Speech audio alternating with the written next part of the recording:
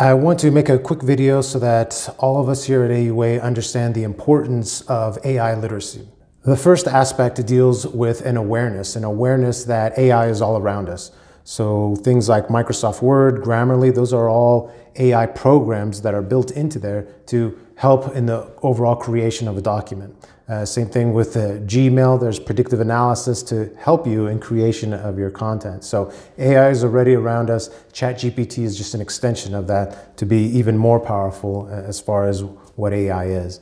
Now, dealing with another part of AI literacy is ability.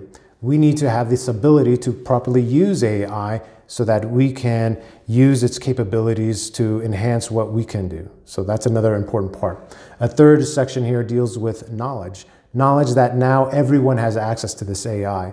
It's not just people that are programmers or people that have special access. No, this is publicly available. So not only do us as instructors have access, but so do students. So that's something to keep in mind. And finally, there's this aspect of AI literacy that deals with critical thinking.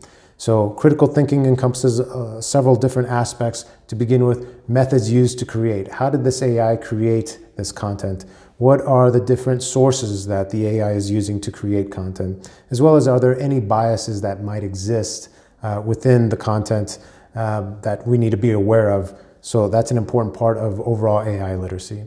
This is an important thing. Uh, this is a powerful skill that students and instructors need to have now. It's very important that all instructors have AI literacy.